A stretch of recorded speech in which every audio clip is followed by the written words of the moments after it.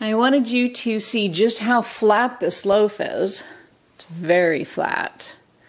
And it should pop up pretty good in the oven.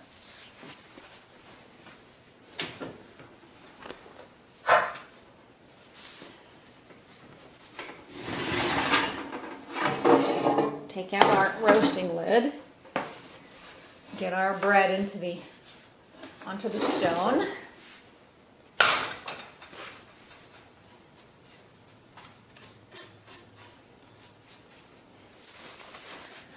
I'm not going to spray it because it's pretty wet already. It'll create its own steam. There, now I'll be back in 15 minutes to take the roasting lid off.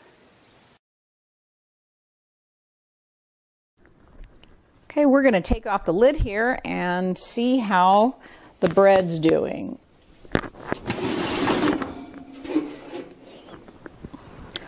That popped up really nice. Really happy with that. We've got a beautiful ear there. Okay, I'm going to put it back in for another 15 minutes. We have a lovely loaf. Now, isn't that amazing that it was so thin and so uh, flat when I first put it in? And now look at it, just popped. We'll be back in 15 minutes.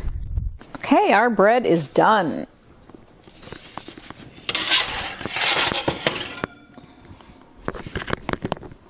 There it is.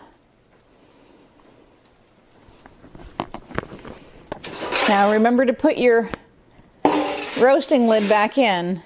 Here's our loaf of bread. Okay, our second loaf is ready to go. We'll be doing it pretty much the same as the first loaf, so I will show you the scoring it and putting it and getting it ready, but I'm not going to show the bake. We'll just show it afterwards. So I've got the the bottom of the loaf, which looks like the top right now, but it'll be the bottom once I turn it out.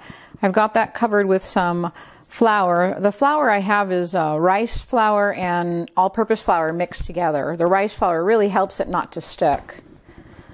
This is very slack dough. It's 75% hydration. It just really spreads out when when I take it out of the banneton. Okay, we'll do another very simple score, the same as the other one. The other one came out really nice. It's got a great ear. So I uh, dip it in water first so that it doesn't stick as much to the dough. All the dough, it, the dough will still stick to the blade, just not as bad. So it's a very simple score. And while you can see our real nice loaf of bread here, this is the first loaf.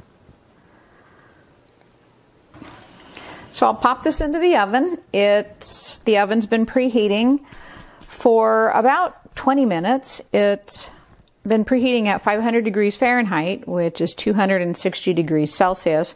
And as soon as I pop the uh, dough onto the hot stone, I'll be turning the oven down to 450 degrees Fahrenheit, which is 232 degrees Celsius. So from this point on, I'm not going to tape it because you already saw how to bake it with the first loaf. So we'll just get this loaf into the oven and out, and then I'll take some pictures of the two of them together, and we'll also slice one of them open.